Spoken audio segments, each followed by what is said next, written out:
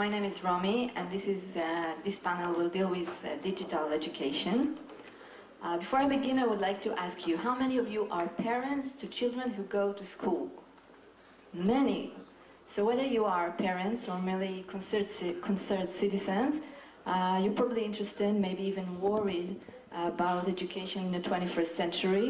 And we heard Mel before, I don't know if he's still here, but according to him, the great, the most threatening thing is to go to school, the, the worst thing that can happen to a child, and we want to talk about it because it's not necessarily the way.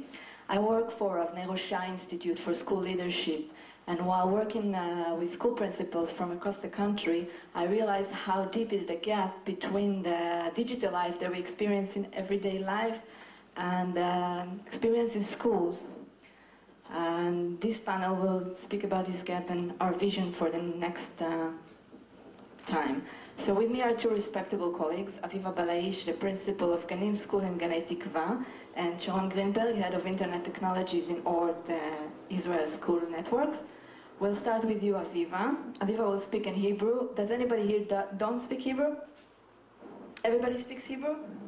Great, so we'll switch to Hebrew. Uh, אביבה, ספרי לנו על החוויה הייחודית בבית ספר שלך ומה קורה שם בכל מה שקשור להטמעה של טכנולוגיה. קודם כל אני רוצה לפתוח ולומר שאני מנהלת בית ספר ניסויי הומניסטי דיגיטלי. בית הספר שלי לומד אך ורק, כמעט אך ורק, בכלים דיגיטליים כבר שש שנים. לפני שש שנים הייתי מאוד מוטרדת וראיתי בבית הספר כמקום הטרגי ביותר וראיתי בחינוך של הילדים ובהוראה טרגדיה. אנחנו מלמדים את דור העתיד בכלים של העבר. אה, לא יכולתי לקחת על עצמי את האחריות הזאת ופריצת הדרך לעולם הדיגיטלי, ללמד ילדים שהם יהיו דור העתיד בכלים של ההווה כמינימום בסיסי למחויבות שלי אה, לתלמידים שלי. היום מערכת החינוך כולה משתדלת לעבור ולהכניס טכנולוגיה לתוך המערכת, נשאלת השאלה, מה עושה הטכנולוגיה הזאת לפדגוגיה? אם במקום ספר מנייר, הכנסתי ספר סרוק לתוך המחשב הנייד, לא עשיתי שום שינוי. השינוי המשמעותי הוא שעיקר הלמידה, לב הלמידה, תהליכי הלמידה, מתרחשים למעשה מחוץ לכיתה. כל הלמידה כולה מתרחשת בסביבת אינטרנט, כל הלמידה כולה לא נעשית רק באמצעות מילים, קריאה וכתיבה, הלמידה משתמשת בכלים שיתופיים, כרגע אנחנו עובדים מאוד חזק עם הכלים של גוגל, ואני רוצה להסביר למה אני מתכוונת. ילדי כיתות ה' ו' בבית הספר שלי מגיעים עם ילקוט דיגיטלי לבית הספר. בתיק שלהם אין ספרים, מחברות, קלמרים, עטים וכן הלאה וכן הלאה, יש לפטופ. הלפטופ שלהם נפתח, נפתח ויש בו ספר דיגיטלי. הספר הדיגיטלי שולח אותם למקומות באינטרנט לאסוף מקורות מידע, להפנות למקורות מידע, לחזור חזרה אל הספר ואל המחברת הדיגיטלית שהיא הוואנוט. הילדים כותבים בוואנוט, נעזרים בספר הדיגיטלי ועובדים עבודה שיתופית מירב הזמן של הלמידה דרך כלים של גוגל.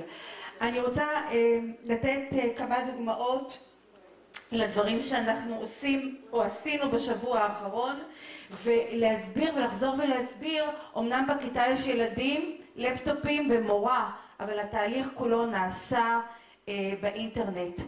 אה, אני אתן אה, דוגמה אחת, לפני שאני אתן את הדוגמה אני רוצה לומר שילדי א' ב' ג' וד' עובדים עם לפטופים, אבל עדיין לא כל התהליך, עדיין אנחנו עוד נותנים להם לקרוא ולכתוב, ולפחות לכתוב ידני, אבל יש להם שני קלמרים. קלמר אחד עם כלי כתיבה, וקלמר שני, יש בו עכבר, יש בו אוזניות, ויש בו דיסק און קי. והילדים האלה בשעות מסוימות עובדים עם הקלמר השני ולא עם הקלמר הראשון. כשהם מגיעים לכיתה ה' ו' העולם האחר נפתח. אני לא מדברת על שינוי במערכת החינוך או בתהליכי חינוך, אני מדברת על מהפכה. ואני רוצה לתת שלוש דוגמאות, אם יאפשר לי הזמן, שתי דוגמאות, אוקיי. דוגמה אחת אני רוצה לתת, אה, מהדוגמה, אני אלך מהדוגמה המהותית ביותר.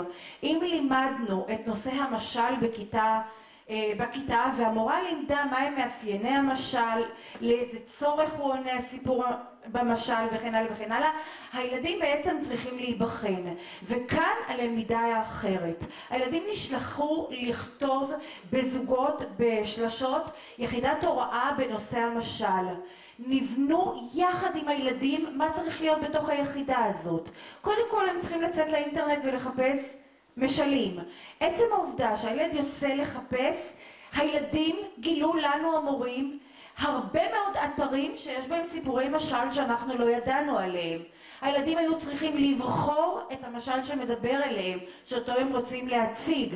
השלב הבא, הילדים היו צריכים לחבר או לצרף סרטון שממחיש את הסיפור אותו הם מציגים או אותו הם בחרו. איפה מחפשים? ביוטיוב. לא, לא כולם מצאו ביוטיוב. אז אוקיי, מה עושים? נפתח פורום. מה אנחנו עושים? התייעצות בפורום. אין בעיה, מצלמים סרטון. למי יש מצלמת וידאו? הוא יביא, אבא של ההוא יצלם, הסבתא של מישהו אחר ת, ת, תקריין וכן הלאה וכן הלאה, ויש סרטון. יופי, יש לי סרטון לעבודה שלי. סליחה, אומרת המורה, אילו לא היית מוצא סרטון באינטרנט, ב... ב אמ, ביוטיוב, אה, לא היית מחבר את הסרטון, תפקידך להעלות את הסרטון הזה ליוטיוב, כדי שמישהו אחר שיחפש, יהיה לו את החומרים האלה. אז איך מעלים סרטון ליוטיוב? ילד בכיתה ה', ילד בן 11, בן 10, איך מעלים סרטון ליוטיוב? מעלים, שוב בפורום, חברים, איך אני מעלה, איך אני שומר? אחרי שהעליתי והגשתי את העבודה, איזה שאלות אני שואל? אחר כך אני כותב בלוג, מה היה התהליך, איך איך יצרתי את העבודה הזאת סביב הנושא של המשל בבלוג כדי שאני אהיה נראה ואנשים מבחוץ ולא מתוך הקהילה של בית הספר יגיבו לי, אני צריך הרבה מאוד כותבים. מי כותב? כמה כותבים? שנייה. והשלב הבא, הרפלקציה. המורה איתרה בתוך האינטרנט אה, תוכנה שנקראת מיינדומו, היא תוכנה חינמית. להצגת רפלקציה על החשיבה שלי. ילדים נכנסו, למדו את התוכנה, באו למחרת, סיפרו למורה איך זה עובד, והתחילו להציג את תהליך החשיבה שלהם בתהליך שהם בנו את המשל. ואני נתתי רק דוגמה אחת. אז אביבה מספרת לנו על איזה תהליך שמשמש, גם משתמש בכלים דיגיטליים וגם מבנה איזה תהליך של למידה שיתופית. שרון, תספר לנו מהניסיון שלך על אה, איך אפשר להטמיע כלים דיגיטליים בחינוך. שאלה אה, ככה, שומעים אותי? ועכשיו? אוקיי. אני רוצה לדבר קודם כל על החסמים העיקריים שיש לנו בהטמעת טכנולוגיה בחינוך. קודם כל, במדינת ישראל יש לנו מצב קצת בעייתי שבו המגזר הציבורי, קרי החינוך, מנותק. אה, בתי הספר זה גופים מאוד מאוד עניים, תשתיות האינטרנט במדינת ישראל לבתי הספר הן פשוט במילים אחרות מחפירות והרגולטור לא עושה שום דבר כדי אה, לטפל בנושא הזה. תחשבו שהיום החיבור האינטרנט הביתי הוא הרבה יותר רחב והרבה יותר טוב ואיכותי מאשר החיבור של בית הספר. וזה רק בהתחלה בתחום של התשתיות. אם אנחנו הולכים עכשיו לתחום של הטכנולוגיות ופלטפורמות שאנחנו רוצים להכניס לבתי הספר, אם ניקח כל תחום ש... אה, הכניסו בו טכנולוגיה, אם זה למשל בנקאות או רפואה. הדבר הראשון שעשו, שלחו מנתחי מערכות לגופים האלה וניתחו את העבודה של העובדים והמשתמשים שרוצים אה, שישתמשו בטכנולוגיה ואחר כך תכננו מערכת. בתחום החינוך הנושא הוא הפוך. יש לנו מערכת, קחו תכניסו אותה לבית הספר. מה המשמעות של זה, איך המורה מתמודד עם זה, איך לומדים עם זה. אני קצת מתקשה לקבל שמערכת שמתאימה לגופים עסקיים, מתאימה גם אה, למורים בבית הספר. ויש אלמנט נוסף, שזה גם כל הנושא של התמיכה בטכנולוגיה בתוך בית הספר. אני לא יודע אם אתם מודעים לזה, אבל יש כל גוף עסקי שעוסק בטכנולוגיה, ושטכנולוגיה חיונית לעבודה היומיומית שלו, מחזיק מחלקת IT, מחזיק, מחזיק אה, תמיכה, מחזיק אה, גופים שיכולים לבוא ולתת סיוע אה, כשמתעוררות בעיות. בבתי הספר במדינת ישראל, בתי ספר יסודיים לדוגמה, יש טכנאי אחד שמשותף לחמישה בתי ספר. עכשיו אנחנו מגיעים לשיעור, וחלקכם כאן הורים לילדים, והמורה נכנסים למעבדת מחשבים ויש תקלה, אין אינטרנט, הרשת נפלה, האתר אינטרנט שהמורה תכנן עליו או שהוא לא עולה או שהוא השתנה לפתע. עכשיו תחשבו, תדמיינו את הילד שלכם, טוב בעצם הילד שלכם הוא בסדר, אבל הילד של השכנים שלא יכול לדחות סיפוקים, שהוא צריך עכשיו לשבת ולחכות שהמורה ימצא פתרון לבעיה. ואו שהוא יאלתר נושא שיעור אחר, או שהוא ימצא דרך להעביר את השיעור. וברגע הזה, בכיתה של 40 ילדים, שהיום אנחנו בעידן של הכל כאן ועכשיו, הלך השיעור פשוט. וזה גם חלק מהסיבות, בין השאר, לא רק, שלחלק מהמורים יש פוביה להכניס, להיכנס עם התלמידים שלהם לתוך מעבדת המחשבים או לתוך הכיתה עם אינטרנט. אתה רוצה לספר לנו על התוכנית הלאומית? אוקיי. בישראל יש היום, אנחנו נכנסים לשנה השנייה של תוכנית, שימו לב לשם, התוכנית להתאמת מערכת החינוך למאה ה-21. במסגרת התוכנית, זו תוכנית משותפת למשרד החינוך ומשרד האוצר, מושקעים בה כמה מאות מיליונים של שקלים. המרכיבים העיקריים של התוכנית זה לתת מחשב נייד לכל מורה שמצטרף לתוכנית, לחבר את הכיתות בבתי הספר לאינטרנט, עם אמצעי הגברה ואמצעי החשכה, אבל עיקר הכסף הולך בנושא של תוכן והטמעה והדרכה של המורים לשימוש בטכנולוגיה. חשוב להדגיש, אין התייחסות בתוכנית לאמצעי קצה לתלמידים, בכלל, יש כאן איזשהו פרדוקס, כי אולי זה לא טוב להשתמש בחינוך, אבל זה בעצם להתכונן למלחמה שהייתה ולא למלחמה שתהיה. היום אסורים על תלמידים להכניס אמצעים ניידים לכיתה, אפילו מחרימים אותם, אני לא יודע אם ההורים שביניכם נתקלו בזה. והיום אנחנו בעידן המובייל, בעידן שמאפשר להיות כל הזמן מחובר, ללמוד כל הזמן ובכל מצב. וזה קצת אבסורד, אני יודע שמשרד החינוך עובד על השינוי של התקנות האלה, אבל בכל זאת נכון לכרגע, התלמידים עצמם מנותקים. אז בעצם התוכנית מנציחה את מה שאולי אביבה ניסתה להעביר כאן במילים אחרות, את התפקיד המרכזי של המורה, כשאנחנו נמצאים בעידן שבו התהליך משתנה, אנחנו מחפשים יותר שיתופיות, אנחנו מחפשים יותר עבודת צוות, אנחנו מחפשים יותר יצירה משותפת של דברים, ולא שהמורה במרכז ומעביר את הידע, אלא שהתלמידים באמצעות פרויקטים יוצרים ידע חדש ובעצם מבנים ידע נוסף. אני כן רוצה להתייחס, ואני אתן לך תכף להגיד משפט אחרון. אני מצליחה להתאפק. כן, אני רואה. הייתי בקיץ האחרון בקליפורניה, השתתפתי בגוגל פקולטי אינסטיטוט, זה כנס שהיה משותף לגוגל ולכל מערכת החינוך בקליפורניה, שבה הם ניסו לבדוק איך אפשר לשנות את צורת הלמידה.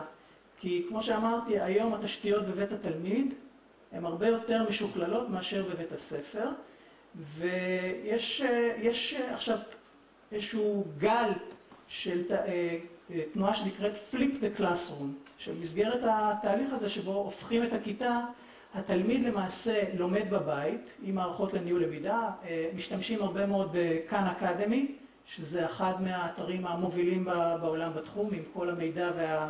ויש לו גם מערכת לניהול למידה. המורה מקבל את כל הנתונים של התהליכי הלמידה שבוצעו בבית, ובעצם בבית הספר מתנהל תהליך של נקרא לזה הטמעה ולמידה שיתופית ולמידה צוותית. וזה פחות או יותר הכיוונים שכדאי, או נראה שהעולם מתכוון אליהם. ייקח עוד קצת זמן, בישראל אנחנו במצב מאוד מאוד התחלתי, אנחנו לא שם, אבל יש לאן לשאוף. אז שרון, אני רוצה לומר לך קודם כל שאנחנו בית ספר מדגים לתוכנית הלאומית, ואכן מה שמשרד החינוך עושה והאוצר יבורכו. וכל מה שאתה כל כך חושש ממנו נופל לאינטרנט, המורה לא מתחברת וכן הלאה וכן הלאה, בתוכנית הלאומית זה לא קורה.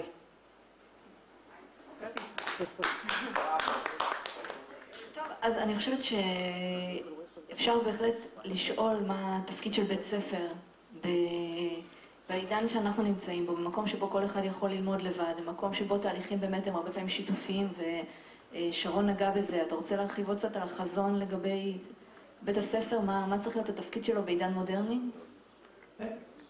יש איזשהו משפט ששמעתי באחרונה שאומר The business of school is learning אז אני רוצה להגיד שאנחנו חושבים שה-business of school is education עדיין אנחנו צריכים לזכור שמרבית ההורים צריכים ללכת לעבודה בבוקר וכמה שאנחנו רוצים לבוא ולקחת את העולם הזה לעולם של למידה אישית ולמידה עצמית עדיין לבית הספר יש מרכיב מאוד מאוד חשוב קודם כל בתהליך החברות ובסוציאליזציה של החברה הישראלית ובהקניית ערכים כאלה ואחרים שבהם אנחנו רוצים שיהיו לתלמידים במדינת ישראל ואת הלמידה אולי אפשר לקחת למקומות אחרים. זאת אומרת אפשר להעביר אותה הביתה, אפשר לעשות איתה דברים אחרים ולבוא ולתת לבית הספר למעשה לקיים את התהליכים של חינוך. בסופו של דבר אנחנו רוצים לחנך את הילדים שלנו וגם כאן אנחנו נתקלים באיזשהן סוגיות שקשורות לחינוך כי אנחנו נמצאים בעידן של אובדן הסמכות ההורית והכנתי כמה דוגמאות לשימושים לדברים שקורים בפייסבוק אבל הזמן שלנו נגמר ואתם תאלצו... אז זו הייתה רק טעימה ממה שאנחנו חושבים על חינוך, תודה רבה לכם. תודה רבה